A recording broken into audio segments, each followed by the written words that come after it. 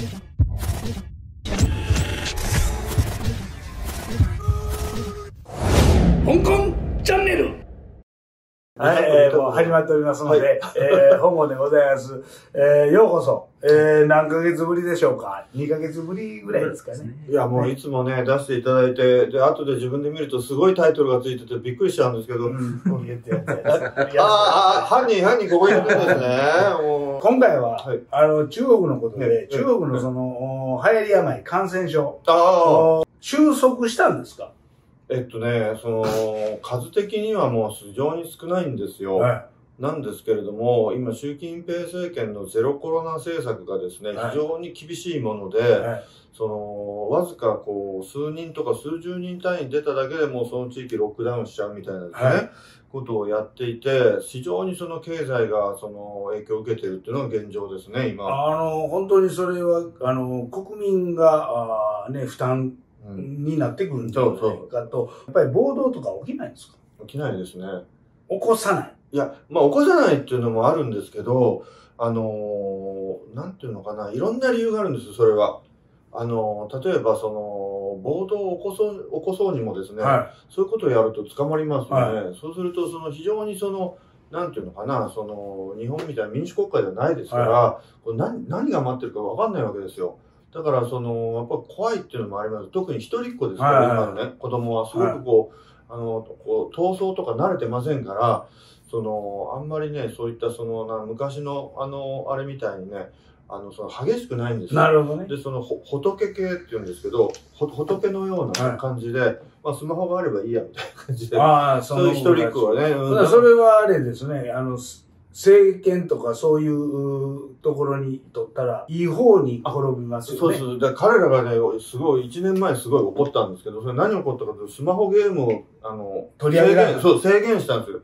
あの、そこは怒るそこは。そこは怒っ うん、そこはもう、ほんならお前どう、どう、何したらええた。の？そうそうそうそうそうそう。でスマホのゲームを与えてたら、うん。えー民衆はうん。っ激怒しないっていう。ていうことですね。ただね、あの映像とか見てたら怖いのがね、その、一人なんか感染者が出たら、ショッピングモールとか閉めようとして、ブワーそんなとこで2、3日折れるかいって言って逃げる人いっぱいいていますよ。やいや、そうなんですよ。だから、もうなんか出たっていうと、そこでもうへ封鎖しますから、その瞬間から。だかうんらもうこう閉じ込められちゃうわけですよ。はだからもうそ、なんか起こると、あーってもう逃げる感じ。だからその、あの、レストラン行っても、そのスーパー行っても、こうなんかね、やっぱ警戒しながら買うっていうんですか。い。あだっていつ閉められるかわかんないから、うんいないだろうな、大丈夫だろうな、みたいな感じで、なんか出口近くのものを買う。あ。あれ、なんでね、その店の中で感染者が出たって。え、スマ店で、スマホでわかるんですスよ。マホで？うん。ああ、そうなんですか、うん、あの、そ例えば、じゃあ私感染するとしますよね。そしたら、えっと、香港さん近いですよね。はいもう香港さんのスマホがすぐ黄色になるんですよ。ほんならもうあかんってなって。黄色になったらすぐ PCR 検査受けないといけないんですよ。で、受けて、問題ないって言うと、緑、青に戻るわけですよ。はで、あの、問題あったら、えー、こう、隔離になって、はいで、その赤になるわけです。で、店はなんでそれわかるんですか？それ。店、えーショッピングモールは閉鎖しようってなるのあ、だからその、あそれは例えば私がその感染したとしますね。感染したとしたら、私のその、あの、一週間ぐらいのそのスマホで何をしたかっていうのは全部わかるわけですよ。はいはい位置統計と買い物統計で。で、それで、じゃあどこのスーパーで何時何分に買い物してるとなると、じゃあこのどスーパーに半径5メートル以内にいた人は誰がいるかってスマホで全部わかる。あ全部わかって、ほんで、それは当日じゃなかっても、えー、遡って、ほんで、それで閉鎖すると。そう。うんはあ。すごいすごいすごいシステムですよ。すごいです、すごいです。だからもう、突然自分のスマホが黄色になったりするわけですよ。ほんならそれ、購買力って薄れるじゃないですか。行って何かあったら。ほんならその、ショッピング街とかも、もう閑散としてくるんじゃないですかね。おっしゃる通りでございます。ええほんでもう、あれですか、だいぶ、あその、GDP はどうなんですか？0.4%ですよ、第二四半期。ガーンガーンって落ちてね。え、それは、えー本当の数字なんですか？わからない。でも、マイナスはマイナス。うん、ええ相当ね相当ひどいと思あ、なるほう、ね。一番怪しいのはね、はい怪しいって言ったらあれですけど、あのー不可解なのは、失業率が、わ若年層ですね。16歳から24歳までの失業率が7月ですけど、最新統計で19.9%。えもう20%。いや、だから、この、こう20%ラインをなぜ超えないで19.9なのかっていうのが話題なんですよ、中国人の。おかしいだろうと。おかしいですよ。バーンって言ってますのに、は ここ超えない、19.9。い どれぐらいと思います、先生？うーんあの、あの、その、肌感覚だと40%ぐらいじゃないですか。ああ、10人のうち4人は。うんうん若年層。だって、6月、7月でですね、大学生が1076万人卒業したんですよ。はいは就職だけなんかないんですよ。い。はだから卒業イコール失業っていう言葉が流行語になってい。て、お BA 重視、あ BA 重視 CA って言うんですけどね、はい卒業イコールあの失業っていうのは、それぐらいもう全然ないですよ、えー、先生は中国は行かれてないんですか？え行ってないですあ行き行くのはね、今行けない。直行便もないですよ。もう入れないんですか？いや、入れないことはないんですけど、例えばですね、北京はないんですけど、北京に行こうとしたら天津は今あるんですね。毎週1回飛行機が天津、東京天津って出てるんです。それがね、えーっとね、あの、エコノミークラスで片道30万円ぐらい。